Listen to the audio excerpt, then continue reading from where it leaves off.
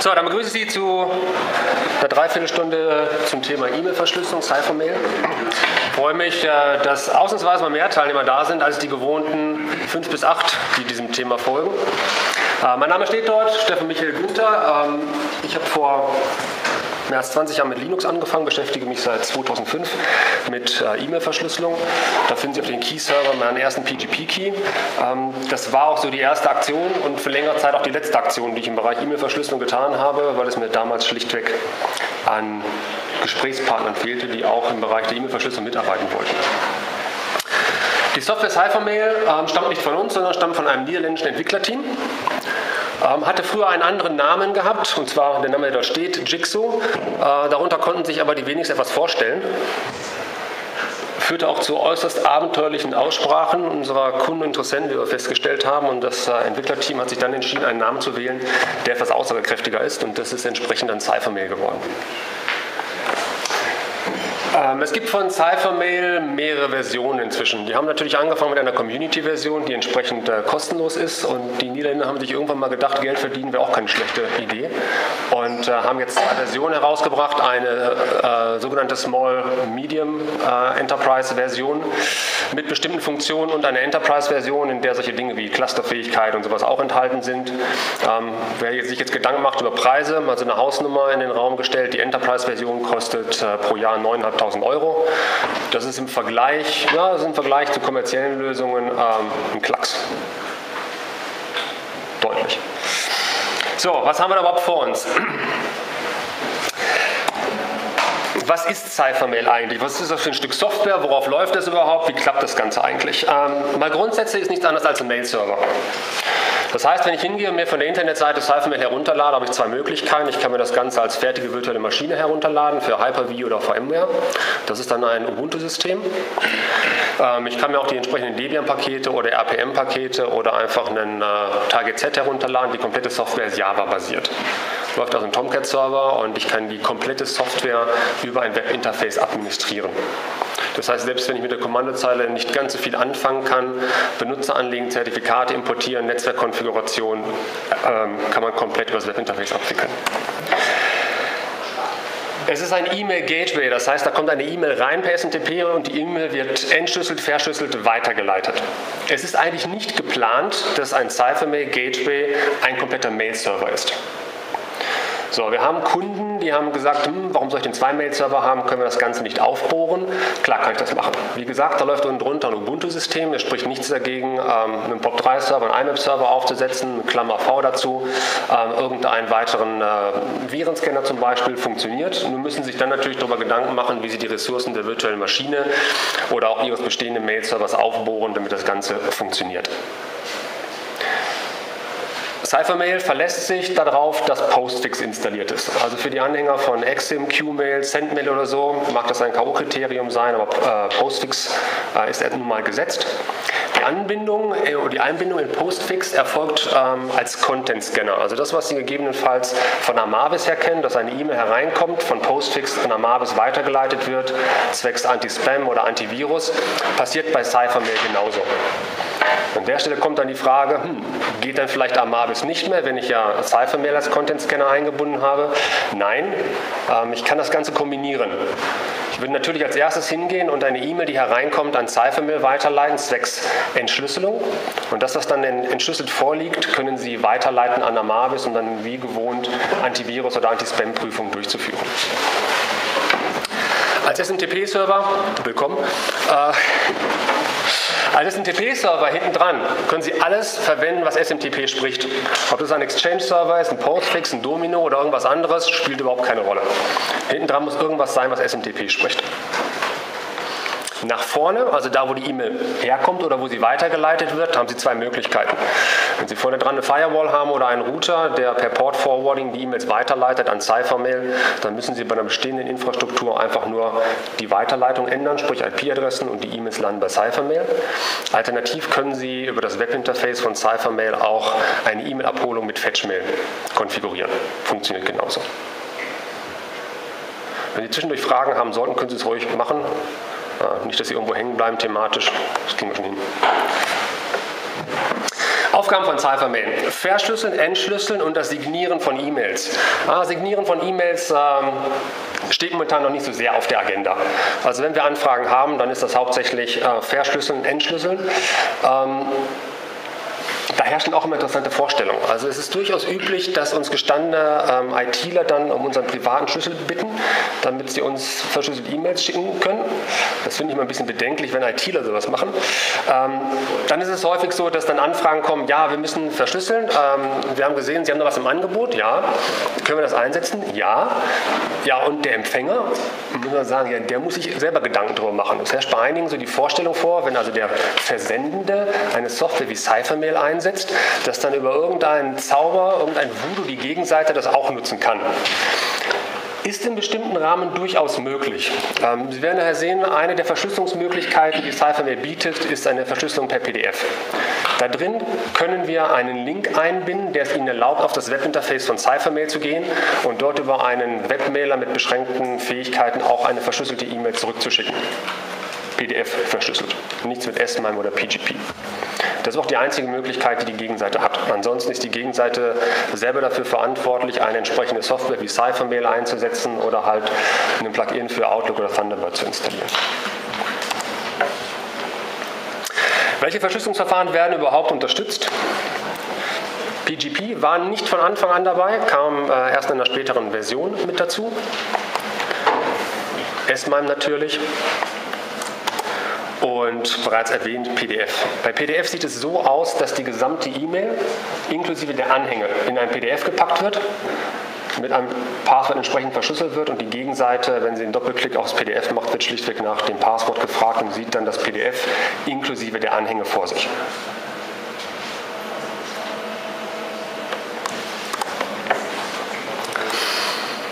Kommen wir mal zu der langen Liste der Merkmale von Cyphermail. Mir ist es ein bisschen langsam heute. Webinterface, wie gesagt, da läuft ein Tomcat. Ähm, mit HTTPS, mit dem natürlich kleinen Problem kein offizielles Zertifikat da drin, also gibt es eine Fehlermeldung, was manche stört, aber äh, zumindest mal habe ich ein Webinterface. Das ist auch der Part, den wir uns nachher bei der Live-Aufführung noch anschauen werden, damit Sie mal da einen Eindruck von der Oberfläche bekommen. Eins vorweg, das Webinterface von Cyphermail ist ein gelungenes Beispiel dafür, dass äh, Softwareentwickler bestimmt viel Ahnung haben von ihrer Software, aber beim User Interface Design ah, Verbesserungsbedarf noch haben. Sieht halt nicht ganz so schick aus wie bei vielen kommerziellen Produkten. Im Gegensatz zu kommerziellen Lösungen gibt es hier keinerlei Beschränkungen hinsichtlich der Anzahl von Accounts und Zertifikaten, die ich da importieren möchte oder nutzen möchte.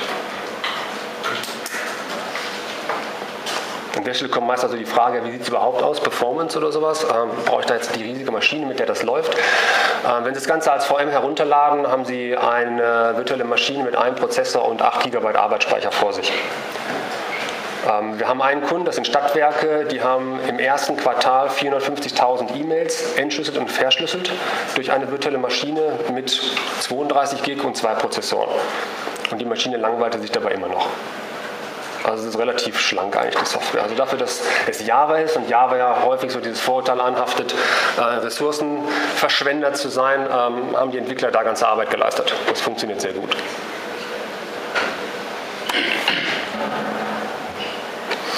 Zum Thema Konfiguration. Die Frage ist ja immer, wie wird überhaupt die Entschlüsselung und Verschlüsselung hier angetriggert?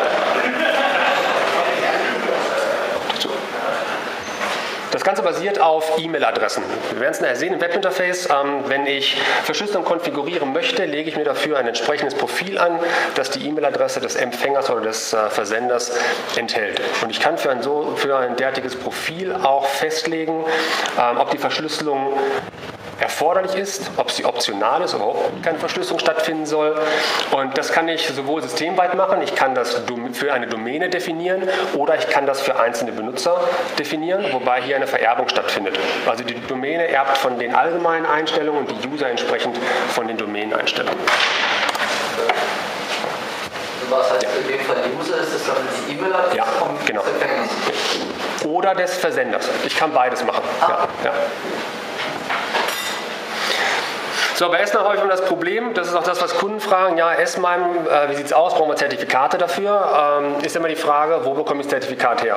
Gebe ich Geld aus, hole mir ein offizielles Zertifikat oder gehe ich hin, setze mir meine eigene CA auf, der keiner vertraut? Gut, wenn ich zum Beispiel BASF heiße, dann kann ich mir meine eigene CA aufbauen und äh, kann erwarten, dass relativ viele meiner Kommunikationspartner gewillt sind, dieser CA zu vertrauen. Ähm, für Testzwecke oder so kann ich hier über das Webinterface meine eigene CA auch aufbauen und damit erstmal Zertifikate ausstellen. Das funktioniert. Sie können es auch mischen. Also eigene CA plus offizielle Zertifikate irgendwo dazu kaufen. Hier Let's Encrypt auch? Wenn Sie die als Datei importieren können, ja. Dann geht alles. Ein Feature, für das sich bisher ähm, einmal eine Polizeibehörde interessiert hat, ist äh, Data Leak oder Data Loss Prevention. Sprich, ich kann hier reguläre Ausdrücke im Webinterface definieren, die, wenn ich einen Treffer habe, eine E-Mail entweder komplett abgewiesen wird oder die E-Mail verschlüsselt werden muss. Ist es nicht möglich, die E-Mail zu verschlüsseln, werden sowohl der Absender informiert als auch der Administrator.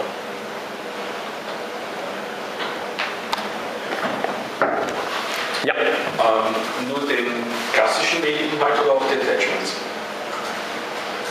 Die, der verschlüsselt ja die komplette E-Mail. Nein, die, der Data, Data Loss Prevention. Naja, solange der reguläre Ausdruck irgendwo ein Match hinbekommen kann, ähm, also sprich, wenn es reiner Text ist, wird es ja relativ einfach schaffen. Ansonsten hängt es natürlich von dem Anhang ab, in welchem Format er ist, ähm, ob da was gefunden werden kann. Aber jetzt wollen wir jetzt äh, explizit Attachment abhängen, wollen wir scannen und so, das passiert nicht, sondern es geht halt einfach. Genau, es geht einfach durch, ja. ja. Äh, komplette E-Mail-Verschlüsselung heißt es auch Betreff wahrscheinlich nicht. Betreff nicht, nein. Der, das, das geht noch als, als Klartext. Es sei denn, Sie haben ein PDF. Ähm, wenn Sie eine PDF-Verschlüsselung haben, dann ist ja die gesamte E-Mail da drin. Ähm, dann bekommt der Empfänger nur ähm, die Nachricht, dass er halt eine verschlüsselte E-Mail erhalten hat. Template-basierte Benachrichtigung. Ähm, klar, wenn eine E-Mail nicht verschickt werden kann, weil sie nicht verschlüsselt werden kann, dann sollte man den Versender darüber informieren. Ähm, das ist hier möglich mit einer größeren Anzahl von Variablen auch. Ähm, Standardeinstellung ist natürlich englischsprachig, aber Sie können das auch wieder systemweit, domainweit oder pro einzelnen User definieren, in welcher Sprache eine Benachrichtigung erfolgen soll. Problem ist nämlich, ähm, so ein Gateway hat ja einen Vorteil. Der User muss nichts tun. Der schickt einfach seine E-Mail in Outlook raus oder Thunderbird, die E-Mail kommt zum Gateway und wird dort verschlüsselt. Er muss nichts selber in irgendeinem Add-on machen. So, da haben wir das Problem, dass die User irgendwann sagen, hm, ihr könnt uns ja viel erzählen, aber wir wissen ja gar nicht, ob verschlüsselt wird. So, und deswegen kann man optional dann auch äh, im Webinterface Notifications einschalten, dass also der Absender informiert wird, dass eine E-Mail erfolgreich verschlüsselt wurde. Ähm, das wollen die User meist so vier Wochen lang, dann sehen sie ein, dass es funktioniert, dann nervt sie und dann schaltet man das wieder ab. So die Erfahrung. Äh, das ist auch umgekehrt so. Die bekommen natürlich eine entschlüsselte E-Mail zugeschickt und sagen dann, naja, eigentlich ist ja nicht unsere Aufgabe sicherzustellen, dass verschlüsselt wurde, aber wir wüssten schon ganz gerne, dass auch die Kommunikation in die andere Richtung zu uns verschlüsselt erfolgt. So, auch da haben Sie die Möglichkeit, dann im Webinterface einzustellen, dass die Betreffzeile nach einer erfolgten Entschlüsselung entsprechend mit einem Zusatz decrypted versehen wird.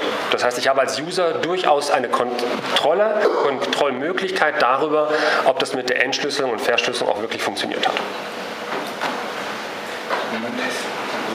also das heißt, man kriegt eine Rückmeldung, ob das sie gelesen hat? Ja, das ist davon unabhängig. Es geht einfach nur darum, wenn Sie die E-Mail äh, aus dem E-Mail-Client rausschicken, Ja.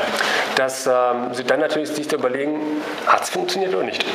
Also Sie bekommen die E-Mail nicht zurück, also können Sie davon ausgehen, dass sie zumindest mal rausgegangen ist, aber Sie wissen ja nicht, wurde verschlüsselt oder nicht. Wenn Sie zum Beispiel von der Gegenseite die, äh, den Zwang erhalten haben, Sie dürfen nur noch verschlüsselt kommunizieren, dann wollen Sie ja schon irgendwo die Sicherheit auch haben. Und dafür können Sie hier diese Benachrichtigung äh, aktivieren, dass Sie bei jeder erfolgreichen Verschlüsselung eine kurze Info bekommen, ähm, dass erfolgreich verschlüsselt wurde. Wie sieht die aus? Ist das ein Pop-up-Fenster? Nee, Sie kriegen ganz normal eine E-Mail vom, vom Cypher-Mail-System zurück. Ihre E-Mail äh, an, Betreffzeile so und so, wurde erfolgreich verschlüsselt.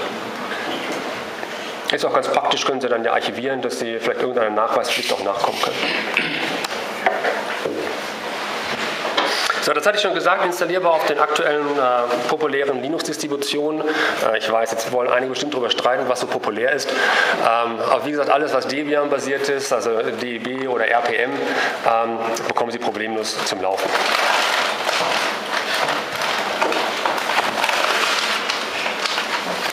Wie gesagt, alternativ als virtuelle Maschine.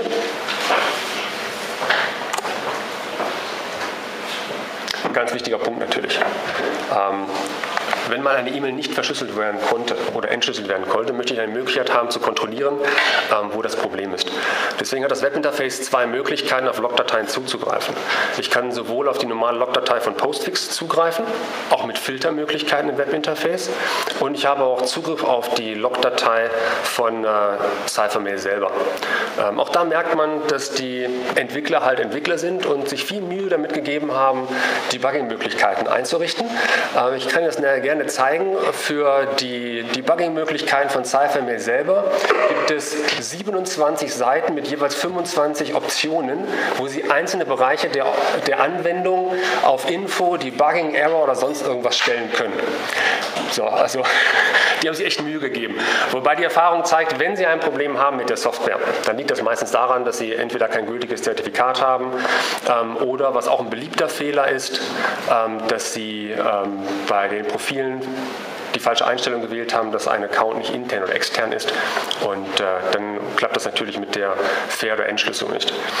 Ähm, an der Stelle hat mich dann auch mal ein Teilnehmer gefragt, ob es möglich wäre, eingehende E-Mails, die nicht verschlüsselt sind, zu verschlüsseln. Also sein Ziel war gewesen, dass auf seinem Mail-Server nur verschlüsselte E-Mails liegen. Ja, also wenn Sie so eine Forderung haben, äh, auf Ihre Sicherheit bedacht sind, klar, müssen Sie nur äh, bewusst einen Fehler bei der Konfiguration machen. Dann geht tatsächlich die Software hin und verschlüsselt die eingehende E-Mail äh, mit äh, Ihrem PGP oder S-MIME Key-Zertifikat und dann liegt die E-Mail verschlüsselt auf Ihrem Server. Also wer solche Wünsche hat.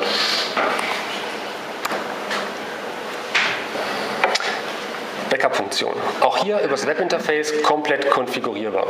Der Vorteil bei Cyphermail hinsichtlich des Backups ist, ähm, alle Einstellungen liegen äh, standardmäßig in einer Postgres-Datenbank. Diese können Sie auf Wunsch auch durch MySQL ersetzen. Aber in dieser Datenbank wird alles gespeichert. Da sind die Benutzerprofile drin, es sind die Zertifikate drin. Und ähm, das Einzige, was nicht drin ist, Sie dürfen es auch gerne laut sagen.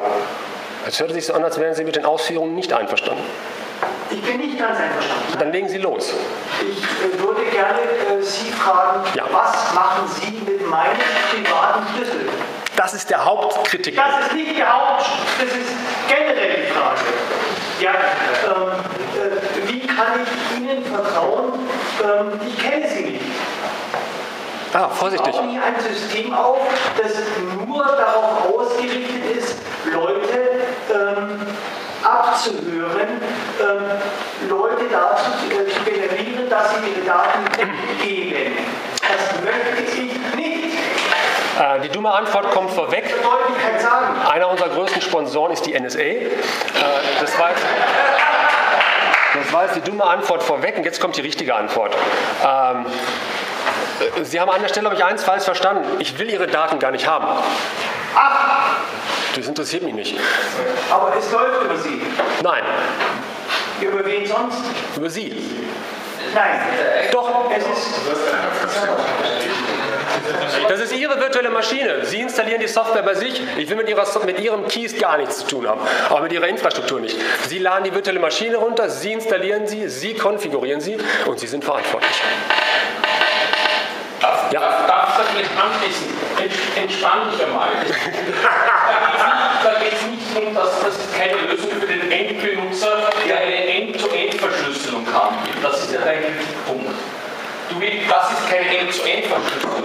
Das ist, das ist eine Lösung. Das ist eine Lösung im, im wo die Kommunikationspartner beide die, die gesetzliche Verpflichtung haben, den Austausch, der über das Internet erfolgt, verschlüsselt durchzuführen, genau. weil es gesetzlich vorgeschrieben ist, aus verschiedensten Gründen. Da, bei denen die, das ist diese Unternehmen, sich vergisst deine persönlichen privaten Daten, da geht es um Unternehmensdaten oder der Daten derer Kunden, die verschlüsselt übertragen werden müssen. Das heißt, die sehen jeweils ihr persönliches LAN als sicher an So, in dem LAN muss nicht verschlüsselt werden, weil da hat die Sicherheit auf andere Art und Weise bla bla bla. Aber in dem Moment, wo die Daten das Unternehmen, die Unternehmensgrenze überschreiten, müssen sie verschlüsselt werden. Und dafür ist dieses Ding da. Das ist nicht dafür da, Privatsphäre, deine, deine Privatsphäre zu schützen. Das jetzt nur darum, die Daten beim Übertragen zwischen zwei Unternehmen zu schützen. Primäre Anwendung. Ja. Er hat natürlich schon recht. Also äh, man kann durchaus die Kritik anführen, ähm, ob es jetzt begrüßenswert ist, einen privaten Schlüssel auch im Unternehmensumfeld ähm, nicht beim User zu speichern, sondern äh, auf so einem Gateway. Das ist durchaus berechtigt. Ähm, es ist aber so, man kann durchaus Sicherheitsmaßnahmen ergreifen. Kleines Beispiel, ich habe äh, diese Software bei der Polizei in Bremerhaven eingeführt und ähm, da war es auch so die Frage, ja, wie kann es sein, dass da jetzt dann alle Administratoren auf die Keys zugreifen können? Ähm, da haben wir es dann so weit getrieben, zusammen mit dem Datenschutzbeauftragten, dass erstens das Webinterface oder das Passwort für das Webinterface ähm, hat keiner von den Administratoren komplett. Die Administratoren haben die eine Hälfte, der Datenschutzbeauftragte die zweite Hälfte. Da habe ich denen gesagt, ah, Leute, passt auf, da liegt eine Datenbank. So, dann haben wir die auch noch auf eine verschlüsselte Partition gepackt. So, damit also auch keiner mit einem Rettungssystem irgendwie drankommen kann, dann war das Thema für die erledigt. Äh, es geht, wie gesagt, Kritik ist berechtigt, aber wir müssen auch überlegen, in großen Unternehmen wird der Administrator sich irgendwas einfallen lassen, um halt Keys äh, verteilen zu müssen und so. Das ist nicht der Königsweg, aber es ist eine Lösung für viele Probleme. Äh, von oben war er noch. Der spricht gerade, also Sie dürfen Sie doch.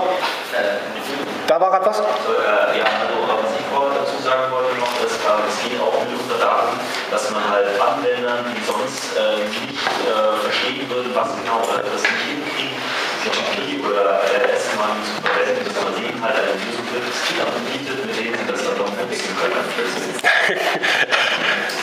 Da muss ich widersprechen. Entweder ich mache Verschlüsselung und begreife oder ich bin einfach zu blöd dazu.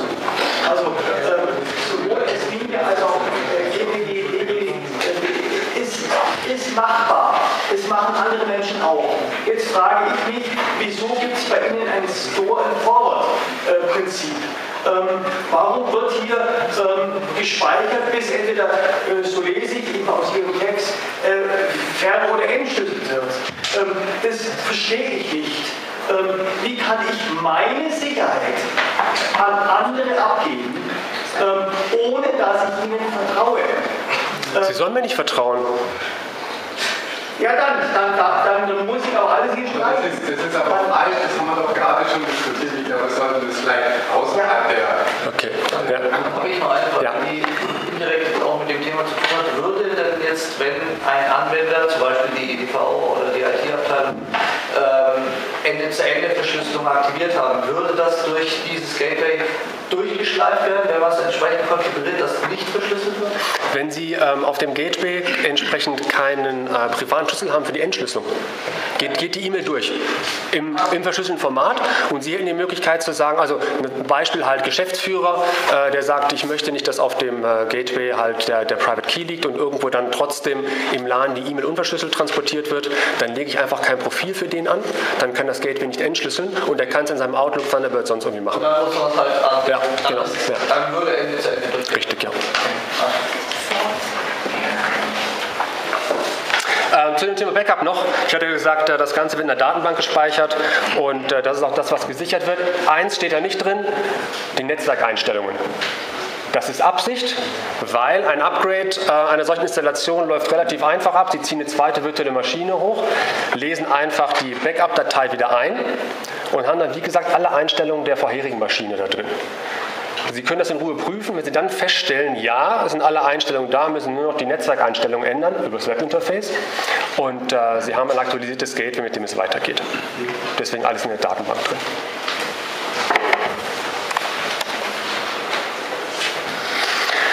Thema Lizenzierung, wie gesagt, abgesehen von den beiden kommerziellen Versionen. Und das ist, wie gesagt, eins der, einer der Vorteile einer solchen Lösung, dass die User, äh, die meisten User kommen damit nicht zurecht. Aus welchen Gründen auch immer, ähm, dass die halt keine Änderungen vornehmen müssen und deswegen auch die Geschichte, die ich gerade angesprochen habe mit der Benachrichtigung, damit die irgendeine Kontrolle darüber haben, dass da was passiert ist.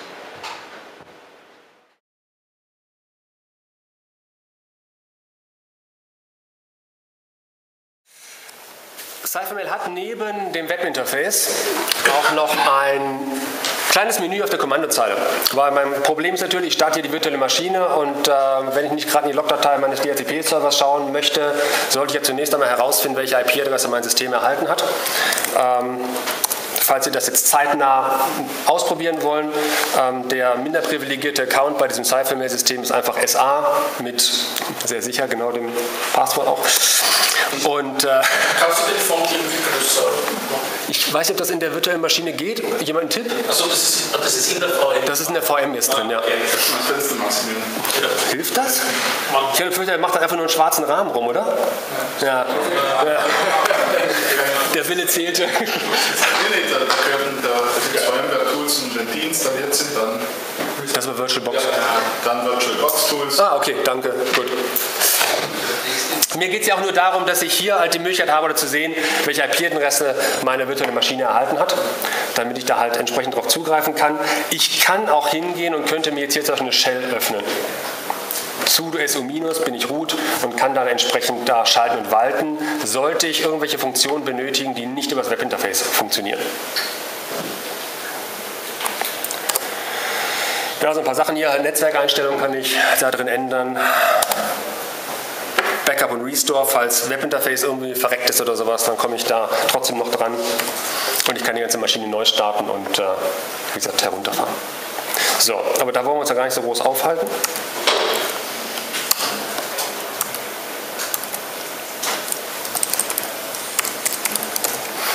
Man sieht oben an der Adresszahl, ich hatte es erwähnt, Zertifikat nicht vertrauenswürdig. Ähm, das Ganze läuft über den äh, SSL-Port von Tomcat. Sie können sich denken, wie das Passwort ist, ne? wenn Sie den Benutzernamen. Sie kennen die übliche Empfehlung, äh, nach dem Login sollte man das Passwort relativ zügig ändern.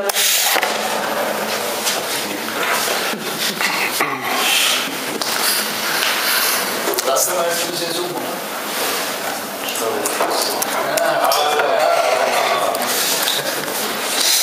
So, also eine Hauptnavigation hier oben. Ähm, fangen wir mit den interessanten Teilen mal an. Hier User, weil das ja auch der Punkt ist, ähm, wo Sie irgendwas anlegen wollen. Okay, kann man LDAP einbinden? Sie können, äh, oder wir haben Skripte geschrieben, dass Sie Active Directory und damit auch LDAP einbinden können. Also eine Synchronisation damit erfolgt. Das geht. LDAP und auch Na, da ja beide etwas miteinander zu tun haben, so technisch gesehen ist das naheliegend. Ja. So, das ist dieses Menü hier, wo ich das Profil meines Users einstellen kann.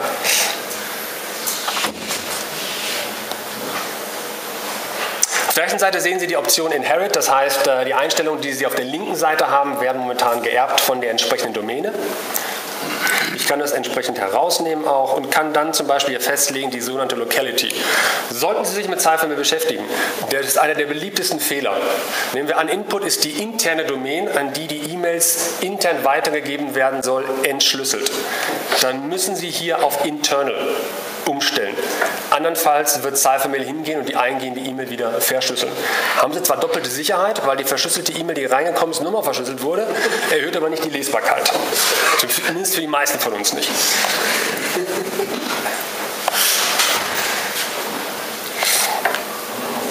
So, dann hier die Möglichkeit festzulegen, möchte ich verschlüsseln? Ja, nein oder gegebenenfalls oder nur, wenn es der Absender möchte und so. Ich habe übrigens hier auch die Möglichkeit einer fallbasierten Verschlüsselung. Sprich, ich kann hingehen und sagen, wenn in der Betreffzeile eine bestimmte Zeichenkette steht, die Sie selber festlegen, nur dann wird verschlüsselt. Auch das funktioniert. Also ich muss nicht festlegen, ja, nein oder immer oder gar nicht, sondern ich kann die fallweise äh, Verschlüsselung auswählen. Das heißt, mein Empfänger sieht auch dann diese dann zum Beispiel wohl verschlüsselt. Wollen Sie die Frage jetzt selber beantworten? Ich habe die Software bisher schon so sehr gelobt, dass sie, äh, obwohl sie nicht von uns ist, dass sie die Frage selber beantworten. Das können Sie auswählen. Sie können also sagen, die Gegenseite soll sehen, dass ich aktiv die Verschlüsselung ausgewählt habe. Ähm, ich kann aber auch sagen, nimm es raus, bevor irgendjemand äh, verwirrt ist, angesichts des etwas ungewöhnlichen Ausdrucks vielleicht, den Sie gewählt haben oder der Zeichenkette halt. Und stattdessen Spam, Spam und Virus gescampt. Ja. Hat, an der Stelle hat die Software in der Tat Also an der Stelle hat die Software in der Tat noch eine Macke. Und zwar, wenn Sie hingehen und sagen, ähm, ich möchte als Empfänger das Feature haben, das ich vorhin angesprochen habe, nämlich äh, es soll angezeigt werden, dass die E-Mail entschlüsselt wurde dann geht die Software nicht hin und stellt fest, oh, da steht schon decrypted drin, ich entferne das mal, sondern wenn Sie mit, dem, äh, mit der Gegenseite ein paar Mal kommuniziert haben, haben Sie eine Betreffzeile, die halt wächst. Als Zeichen der absoluten Sicherheit, die da geherrscht hat. So, wir gehen nicht alle Kopf. Ja? Darf ich jetzt vielleicht doch noch mal ganz dumm nachfragen? Ähm, ich beschäftige mich jetzt nicht so rasend äh, mit Verschlüsselung, aber ähm, jetzt höre ich gerade von Ihnen, die Software zeigt mir an, da wurde etwas entschlüsselt. Ja. Also haben Sie doch wieder meinen privaten Schlüssel. Ich habe mit. Ja, gar nicht. Sie verstehen gar nichts. Wir, wir, klären das nachher. Haben ich habe ausreichend Zeit noch, mein Zug fährt spät. Wir können das nachher durchgehen. Wir machen das nachher. Ich habe nachher Zeit. Ich erkläre es Ihnen nachher nochmal. Aber ich, ich, kann Sie beruhigen. Ich habe, abgesehen vom Termin jetzt hier, später mit Ihnen nichts mehr zu tun. Aber ich helfe Ihnen vielleicht noch. Ja. Warum brauche ich Ihre Anwendung, wenn ich es selber mache? Wenn, wenn Sie, ah, jetzt kommen wir der Sache näher. Wenn Sie, wenn Sie einer von den Glücklichen sind, die verstanden haben, wie äh, Verschlüsselung funktioniert und Sie haben in Ihrem E-Mail-Programm, wie immer es auch heißt, äh, eine Software oder die, das E-Mail-Programm kann selber äh, verschlüsseln oder entschlüsseln, dann vergessen Sie es einfach. Ja, eben. Vergessen Sie es. Behalten Sie es einfach für die, äh, die, den Namen im Hinterkopf für diejenigen, die das nicht verstanden haben und denen geben wir damit ein Werkzeug an die Hand, damit sie sich, seien wir ehrlich, da draußen gibt es jede Menge DAOs, die mit der Bedienung von Word überfordert sind. Die wollen wir jetzt nicht noch mit Verschlüsselung überfrachten. Die checken es nicht. Glauben Sie es mir. Das ist meine Erfahrung. Nee, lassen Sie mal. Es ist. Mit.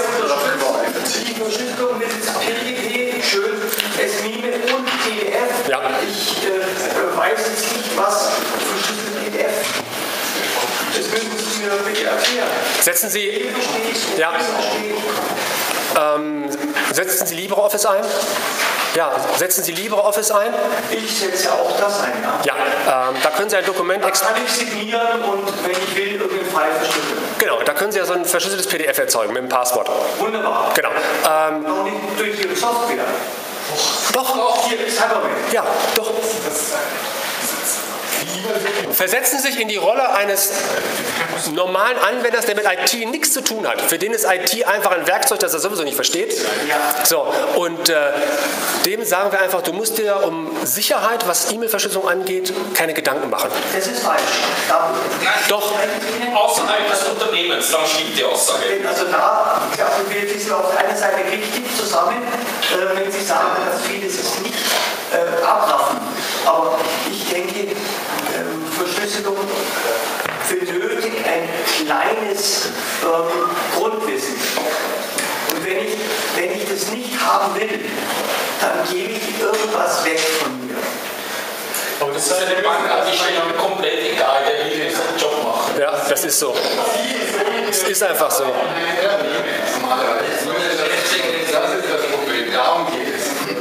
Eine Behörde eines Unternehmens, das ist der entscheidende Punkt, nicht ihre persönliche Verschlüsselung. Und als Unternehmen haben sie ganz ein anderes Interesse. Da haben sie lauter Mitarbeiter, die vielleicht eben gewisse rechtliche Sachen nicht einhalten würden sonst. Und da wollen sie so eine Lösung haben. Müssen, dann können auch andere Lösungen sein, aber das ist ein Von der Idee her, ja.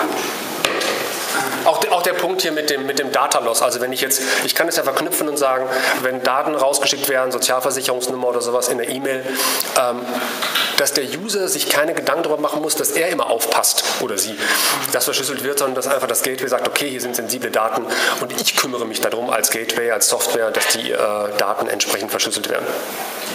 Das, das ist es einfach. So, hier unten dieser Part, äh, also wie gesagt, ich kann hier äh, pro Profil auswählen, ähm, soll unterstützt werden, äh, PGP ist mein PDF. Ich habe hier unten ähm, dann das Passwort für die PDF-Verschlüsselung und äh, unten drunter noch das, was ich bereits erwähnt hatte, den sogenannten Encryption Subject Trigger, sprich den Begriff, den ich in die Betreffzeile schreibe, um eine fallweise Verschlüsselung zu erreichen. Ja. Generiert jetzt quasi das System die ganzen äh, PGP-Keys oder kann ich praktisch eigene PGP-Keys dort importieren? Danke für die Überleitung. Finde ich immer gut. Das, äh, ich speichere das Profil gerade mal und habe dann äh, bei PGP genau diese beiden Möglichkeiten. Also ich kann hier hingehen, Sie sehen, da steht Create Keyring. Ich kann es hier... Ähm, ah! Nicht das. Ah, das reicht nicht. Okay, Moment. Dann ziehen wir es gerade mal raus.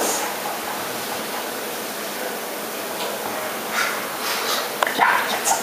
So, also ich mache es ja wieder groß. Ähm, ich habe da Create Keyring. Ich kann meinen äh, PGP-Key hier ähm, erzeugen, kann auch festlegen, ob er automatisch auf den Key-Server hochgeladen werden soll oder nicht. Ich kann hier aber genauso gut auch hingehen, bestehende Keys ähm, importieren. Genauso wie bei S-MIME. Also wenn ich meine eigene CA hier verwenden sollte, dann sind die ja da und äh, ich kann auch genauso gut, wenn ich mir bei irgendeiner offiziellen CA was erzeugt habe, das hier genauso importieren. Zu den S-MIME-Zertifikaten und PGPs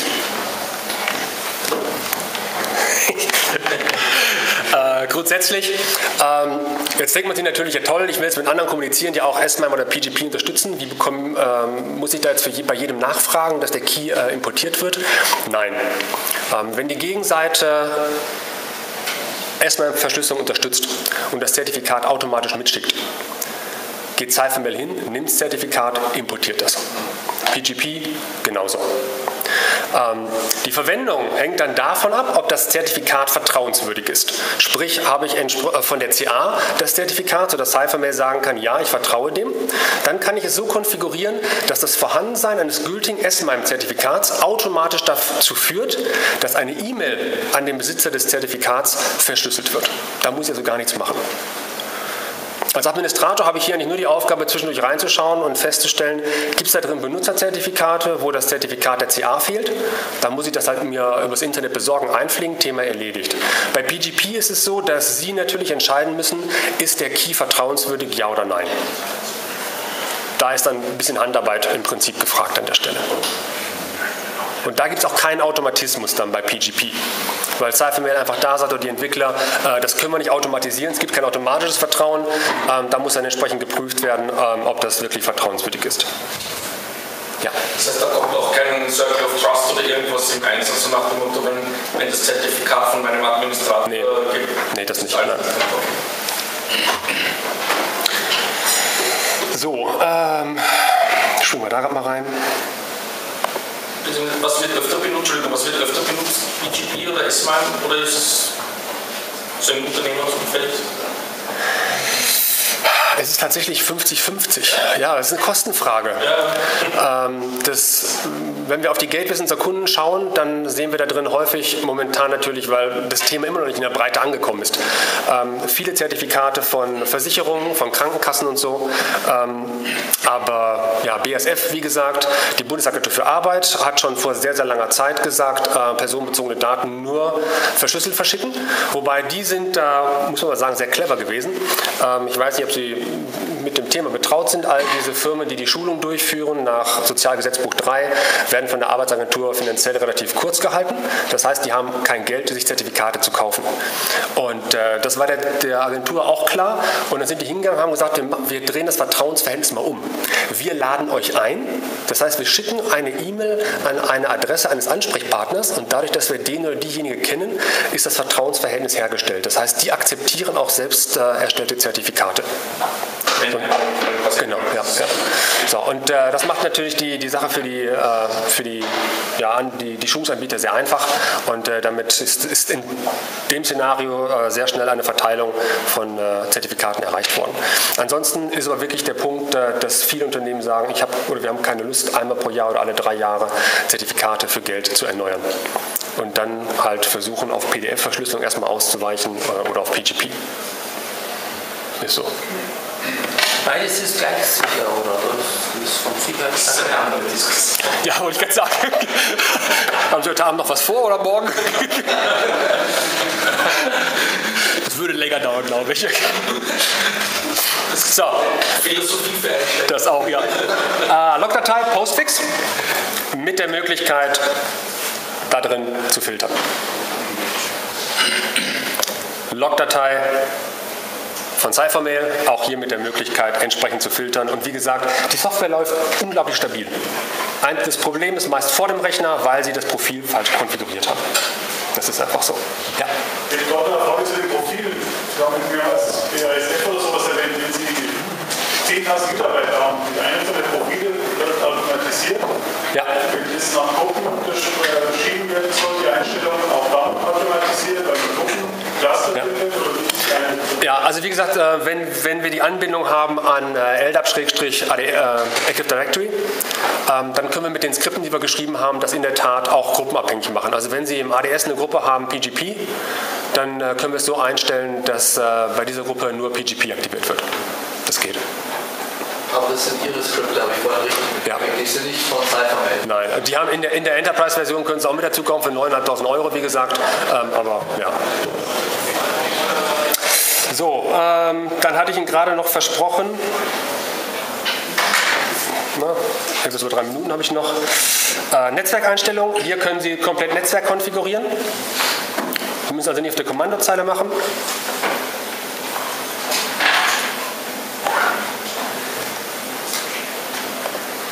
Na, komm her. Ich hatte erwähnt, äh, ach, sind nur noch 24 Seiten. Äh, das sind die 24 Seiten mit den Einstellmöglichkeiten fürs Debugging. Äh, da müssen Sie normalerweise auch nicht mehr dran. Denn die Fehlermeldungen sind so aussagekräftig, dass man eigentlich sieht, worum es geht. Ich springe nochmal zu dem Benutzer, den ich angelegt habe. Ich hatte vorhin erwähnt, diese Templates. Und hier haben Sie jetzt so ein, ein Beispiel ähm, für eine Notification, die verschickt wird, wenn ein, äh, ja, eine E-Mail mit einem verschlüsselten PDF unterwegs ist. Und ja, am Anfang haben Sie ein bisschen Arbeit vor sich. Sie müssen nicht alle Notifications übersetzen, meist brauchen wir nur zwei oder drei. Und äh, dann ist das Ganze entsprechend in Deutsch, Englisch, Französisch, was auch immer Sie haben wollen, verfügbar. Mit Platzhaltern, wie man hier zum Beispiel sieht.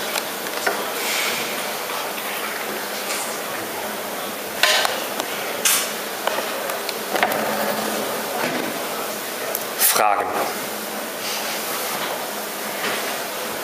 Ja. Also wie löst du dieses Schlüsselproblem bei PDFs? Also so wie ich das verstanden habe, also der, derjenige, der verschlüsselt, muss ja einen Schlüssel festlegen und derjenige, der entschlüsselt, muss den dann haben. Aber PDF-Verschlüsselung ist, soweit ich weiß, symmetrisch. Ja. Wir zwei unterhalten uns auf einem anderen Kommunikationsweg, Fax oder Telefon, einigen wir uns auf ein Passwort. Wir haben ein Callcenter, das verschickt darüber die Abrechnung. Wie gesagt, das Problem ist, die Gegenseite, auch wenn Sie es vielleicht nicht glauben wollen, hat mit Verschlüsselung nichts am Hut. Das ist so. Doppelklick auf ein PDF und Passwort eingeben klappt gerade noch, aber denen halt zu sagen, ja, ihr müsst ein Plugin installieren und dann habt ihr da Keys und so, geht nicht. Ist so. Ja. Was, was ja auch oft verwendet wird, ist, dass so ein, ein, ein äh, Verschlüsselungsgateway dann das, das Attachment oder das Mail auf einen Server legt, wo man es dann über HTTPS oder was abholen kann. Gibt es das auch in der, in der Form? Wir wollen hier drauf ja nicht speichern. Ja. Okay, Also- es ist wirklich nur mit Es ist, genau, ja. Weil das, das, das löst dann oft das Problem eben mit dem Shared Secret und so weiter. ja nee, das, das, das nicht, nein. Wir, wir speichern hier drauf nichts. Was mich noch interessieren würde, also jetzt Firma A kommuniziert mit Firma B und der öffentliche Schlüssel jetzt von den ähm, Mitarbeitern der Firma B, also wo werden die dann vorgehalten? Ist das dann an öffentlichen Key-Servern oder wie habe ich mir das dann vorzustellen? Oder brauche ich die bei mir dann auch den öffentlichen Schlüssel? Also jetzt, weiß bei Firma B arbeitet Herr Müller und der hat den öffentlichen Schlüssel, damit ich die Mail dann verschlüsseln kann? Ich, ich brauche immer den, den öffentlichen Teil der Gegenseite, wenn ich verschlüsseln kann. Und äh, entweder schicke ich das mit meiner E-Mail mit als Anhang automatisch ähm, oder ich stelle es halt auf der Internetseite zur Verfügung, wie PGP-Keys auch, oder Sie machen es wie die Agentur für Arbeit. Äh, da ist es wirklich so, die haben ein Suchformular. Da tragen Sie die E-Mail-Adresse des Ansprechpartners ein und wenn es für den Zertifikat gibt, dann oder öffentlichen Schlüssel entsprechend wird es äh, angeboten. Sie können es herunterladen und in Ihrer Software importieren. Aber da hilft die Software jetzt nicht. Ähm, es gibt einen Auto-Download für, für PGP zum Beispiel. Das können Sie herunterladen. Bei, bei S-MAN wird es ein bisschen schwierig. Aber bei PGP können Sie es herunterladen, aber müssen immer noch halt sagen, ich vertraue.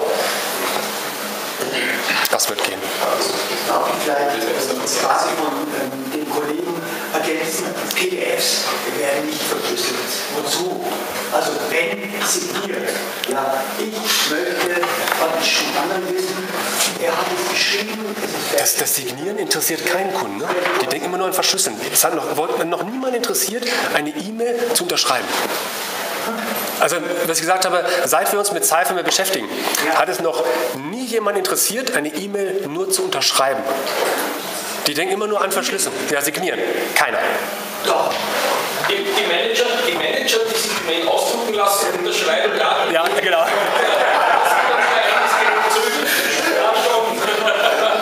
Ja, aber ansonsten ist immer nur Fokus komplett Verschlüsseln, Entschlüsseln Thema. Ja. Ja, ähm, ich möchte schon wissen, wenn Sie mir eine E-Mail schreiben,